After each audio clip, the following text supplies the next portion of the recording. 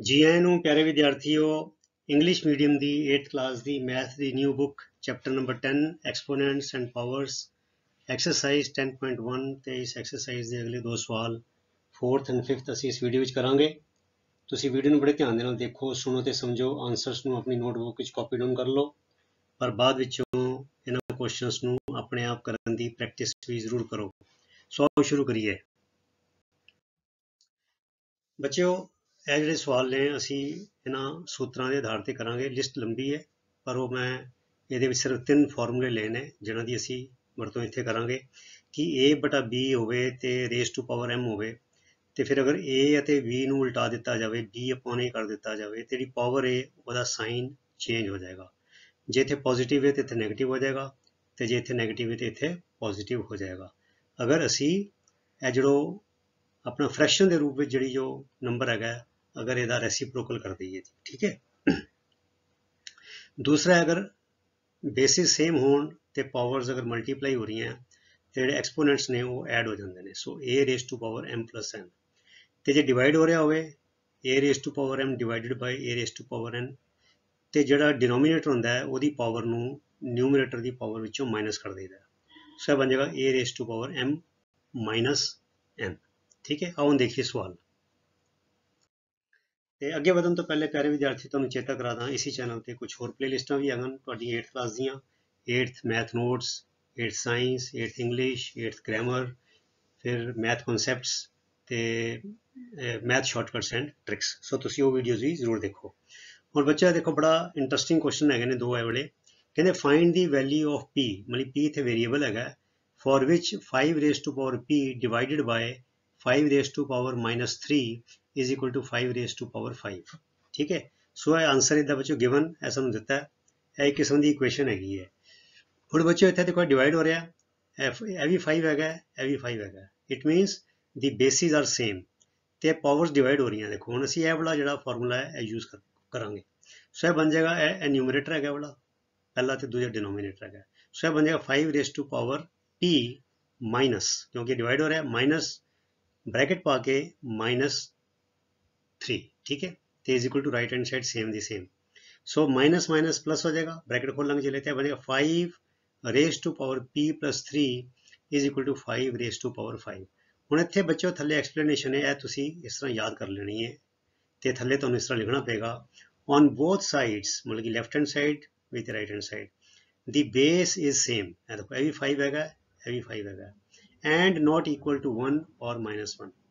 ਤੇ ਜਿਹੜੀ ਇਹ ਚੀਜ਼ ਅਸੀਂ ਯੂਜ਼ ਕਰਨ ਜਾ ਰਹੇ ਹਾਂ so there exponents must be equal ਇਹਦੀ ਕੰਡੀਸ਼ਨ ਹੈ ਵੇ ਕਿ ਇਹ ਬੇਸ ਹੈਗਾ ਉਹ ਨਾ ਤੇ 1 ਹੋਣਾ ਚਾਹੀਦਾ ਤੇ ਨਾ ਹੀ -1 ਹੋਣਾ ਚਾਹੀਦਾ ਇਟ ਮੀਨਸ ਇਹ ਜਿਹੜਾ ਲੌਜੀਕ ਹੈਗਾ it is only applicable when the base is not 1 ਔਰ -1 ਉਸ ਤੋਂ ਇਲਾਵਾ ਕੁਝ ਵੀ ਹੋ ਜਾਏ ਠੀਕ ਹੈ ਬੜੀ ਜ਼ੀਰੋ ਦਾ ਆਫ ਕੋਰਸ ਹੋਣਾ ਨਹੀਂ ਚਾਹੀਦਾ So on both sides the base is same and not equal to 1 or minus 1 ਕਿਉਂਕਿ 5 ਜਿਹੜਾ ਹੈ ਉਹ 1 or minus 1 ਨਹੀਂ ਹੈਗਾ ਸੋ ਜਦੋਂ ਇਸ ਤਰ੍ਹਾਂ ਬੱਚੋ bases same ਹੋਣ then the powers are exponents are equal to each other so their exponents must be equal therefore p plus 3 left hand side the exponent is equal to 5 is equal to 5 ਬਸ ਹੋ ਗਿਆ ਹੁਣ ਸਾਡਾ so 3 right hand side ਤੇ ਚਲਾ ਜਾਏਗਾ minus 3 ਹੋ ਜਾਏਗਾ so p is equal to 5 minus 3 is equal to 2 so p the value ਆ ਗਈ 2 ਜਿਹੜੀ ਇਹਨਾਂ ਨੇ ਸਾਨੂੰ ਕਿਹਾ ਸੀ find the value of p so p is 2 ਹੋ ਗਿਆ ਸਾਡਾ ਇੰਨਾ ਆਸਾਨ ਸਵਾਲ ਹੈ ਸੈਕਿੰਡ ਕੁਐਸਚਨ ਦੇ ਵਿੱਚੋਂ ਇਸੇ ਕਿਸਮ ਦਾ ਥੋੜਾ ਜਿਹਾ ਟੇਡਾ ਪੰਨੇ ਇਹਦੇ ਵਿੱਚ ਤੇ ਚ ਫ੍ਰੈਕਸ਼ਨ ਯੂਜ਼ ਹੋਏਗਾ ਹੁਣ ਤੁਸੀਂ ਧਿਆਨ ਨਾਲ ਦੇਖਣਾ ਦੇਖੋ ਸਵਾਲ ਹੈਗਾ ਫਾਈਂਡ m ਉੱਥੇ p ਸੀਗਾ ਇੱਥੇ m ਹੈਗਾ -2/3 ਰੇਸ ਟੂ ਪਾਵਰ -13 ਫਿਰ ਇਨਟੂ 3/2 -2 ਰੇਸ ਟੂ ਪਾਵਰ 8 ਫਿਰ ਹੈਗਾ is equal to -2/3 whole raise to power minus two m minus one ठीक है जी sorry minus two m plus one ਹੁਣ ਦੇਖੋ ਬੱਚਿਓ ਇਹ ਧਿਆਨ ਦੇਖੋ। ਧਿਆਨ ਦੇ ਨਾਲ ਦੇਖੋ, ਇਹ ਇੱਥੇ ਹੈਗਾ -2/3 ਇੱਥੇ ਵੀ ਹੈਗਾ -2/3